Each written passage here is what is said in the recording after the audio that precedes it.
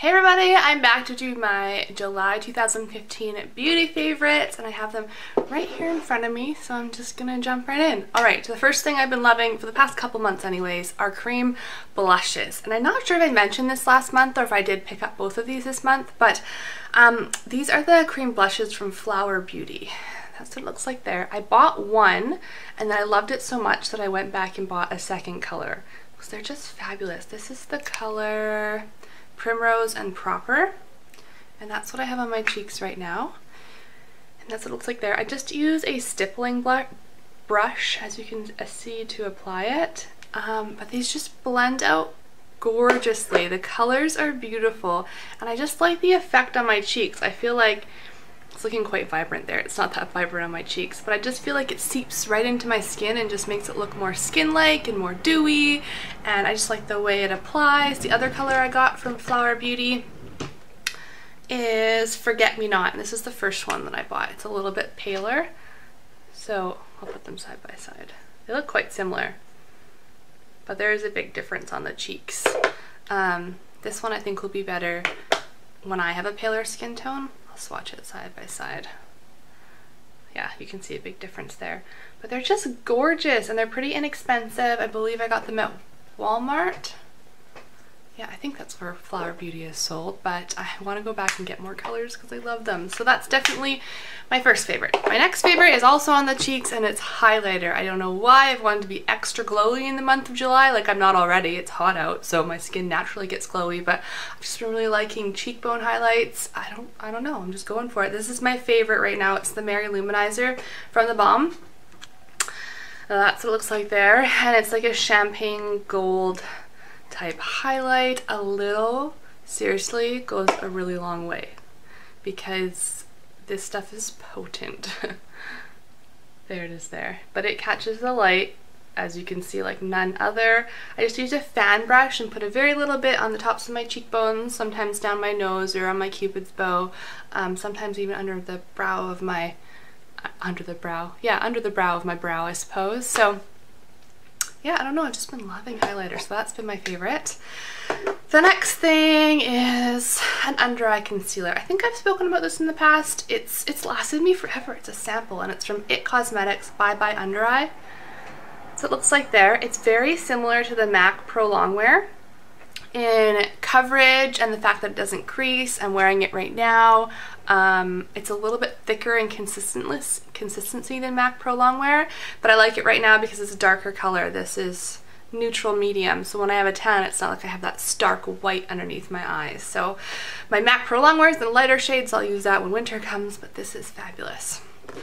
All right, more makeup products. Lip products. I rediscovered these. I actually had them in my purse, and then when I had my baby, I put my purse to the side and started carrying a diaper bag, and I just put in like putting I just put one or two lip products in my diaper bag and then kind of forgot about everything else that was in my purse and so I came across this and I re fell in love with it. It's from Bite Beauty.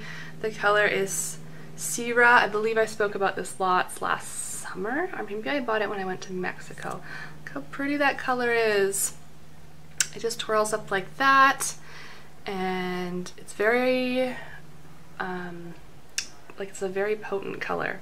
That's the word I'm looking for. It's very opaque. That's the word I'm looking for.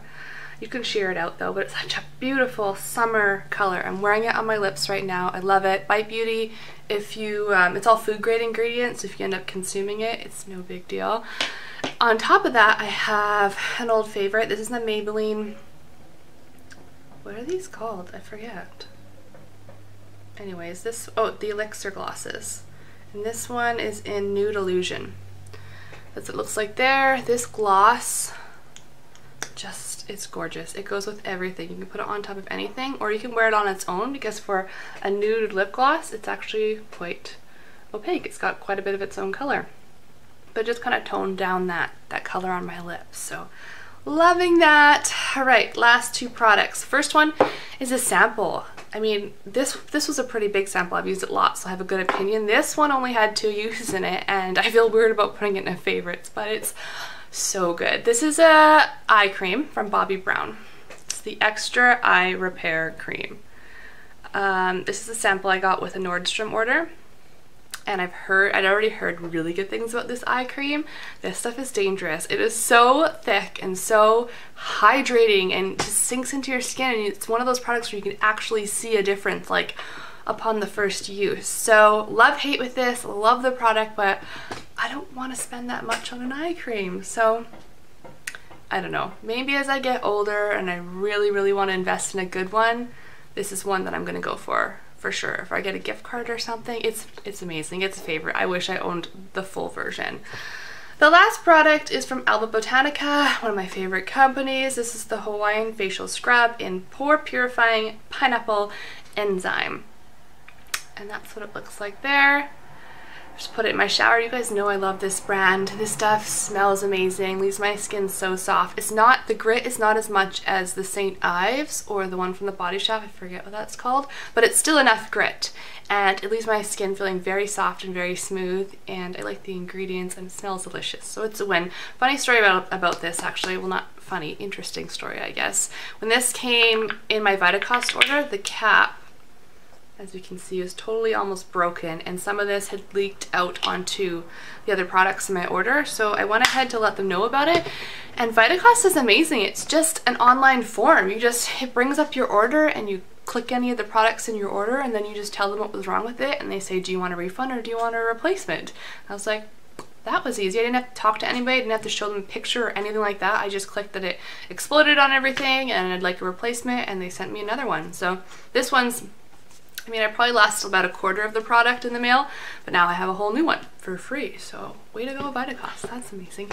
But yeah, those are my favorites for July 2015. I hope you guys enjoy. Thank you so much for watching. Bye.